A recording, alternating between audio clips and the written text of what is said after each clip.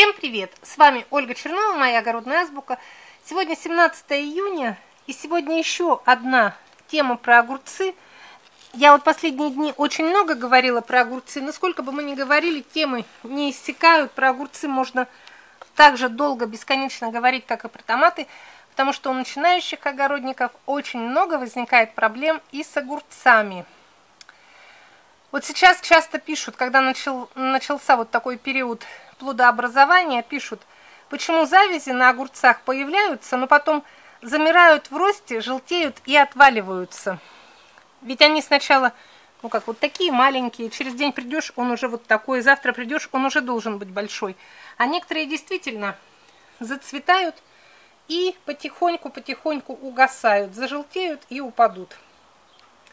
Тут причин может быть несколько, я сейчас вам объясню, что это зависит от фазы развития растения. Если, вот когда в самом-самом начале я говорила, что некоторые ослепляют 4 э, первых нижних пазухи, пазухи, в то время, когда растение еще маленькое, листовой аппарат еще недостаточно сформирован, а завязи уже появились, и они могут погубить растение, материнский куст могут высосать весь. Люди даже специально отщипывают эти завязи. Если не отщипнуть, то растение иногда само сбрасывает, но оно, вероятно, чувствует, что недостаточно вот этой вегетативной массы, и оно не вытянет этих зародышей своих завязей, и поэтому оно прекращает снабжать их, и они засыхают, отваливаются. Но вот специалисты объясняют это недостаточной силой, ведь мы знаем, что все питательные вещества в огурце так же, как в томате, перерабатываются в листьях вот в этих огромных.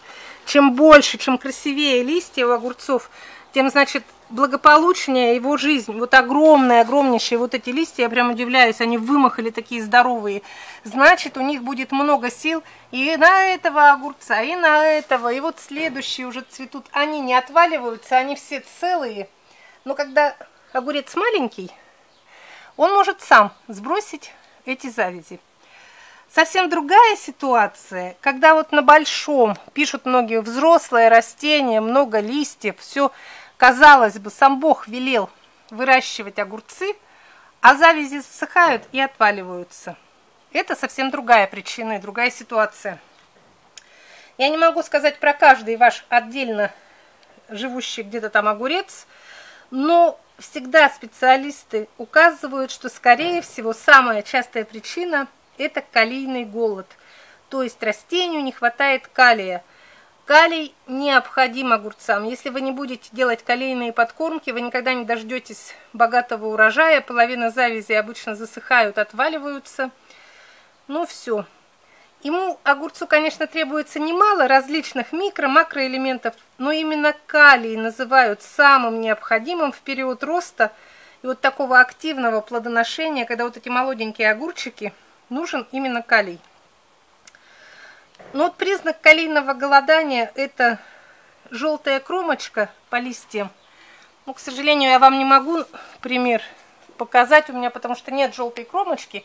Я всегда, я говорила вам, что при высадке добавляла золу, и вот недавно я показывала ленивая подкормка, присыпала приствольный вот этот круг прикорневой золой.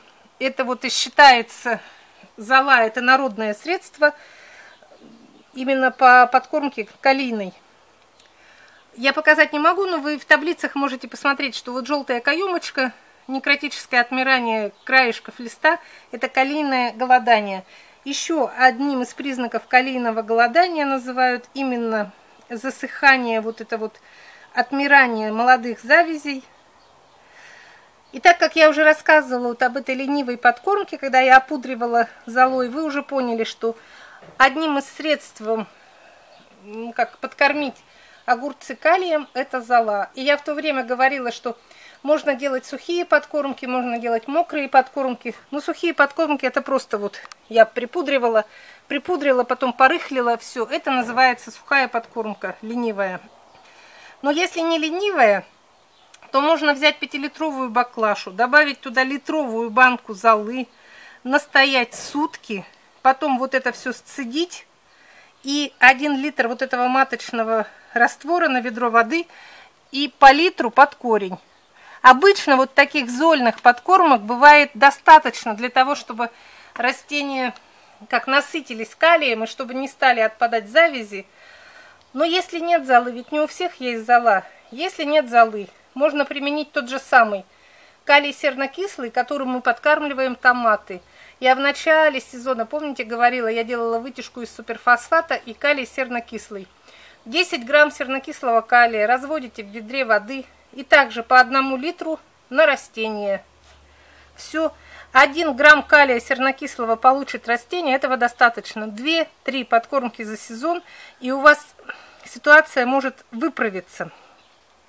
Важно только все это сделать именно в период плодообразования, не когда у вас уже целые там эти... Еще хотела показать, я вот была, как говорила, что в магазине недавно, позавчера, увидела еще вот такую новинку.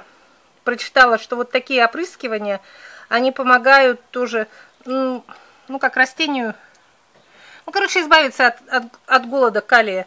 Вот, так что если вы придете в магазин, ну, все живем в разных регионах, у, кого-то одно средство, у кого-то другое. Просто спросите у продавца какое-нибудь средство, которое может дать растениям калий. Калий можно взять ну, в любой форме, там есть вот это вот, например, био, написано, что биопрепарат, микробиологическое удобрение – экологическое земледелие. Это значит совершенно безвредный, чистый препарат, и на огурцах его применять можно. Сама еще не пробовала, это новинка, попробую вот как-нибудь побрызгаю. Не знаю, я, конечно, и золой присыпаю все. Короче, если ответить на вопрос, почему молодые завязи засыхают, желтеют, отваливаются, то я бы ответила так, что если растения взрослые уже, и аппарат листовой у них развит нормально, но завязи все равно, несмотря на это, засыхают, желтеют и отваливаются, значит растению не хватает калия. И вам нужно делать калийную подкормку срочно. Или, народ, или народными средствами, вот как золой.